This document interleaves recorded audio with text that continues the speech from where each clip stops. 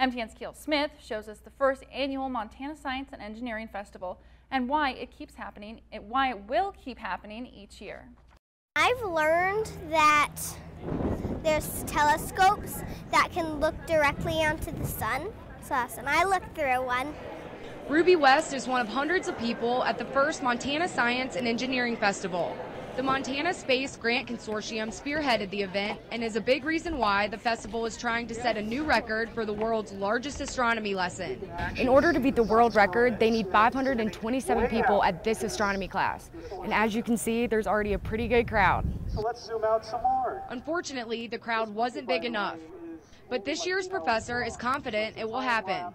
I know we can break that record. We either did it today or if we didn't, we'll do it next year. Organizers say they plan to put the festival on every year to help science and engineering graduates network. Anything that in any way is considered science, uh, we wanted to have here so there can be more collaboration and then also more connection with the local companies.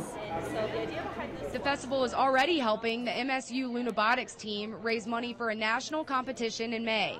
But for one member, that's not the best part. It's just been great having kids come over so interested in all of this lunar stuff and just being able to help them answer any questions that they have and just seeing their enthusiasm. It's also great for kids dreaming of a career in science. I'm planning to be a scientist or a mathematician or an astronaut when I grow up. In Bozeman, Keel Smith, MTN News.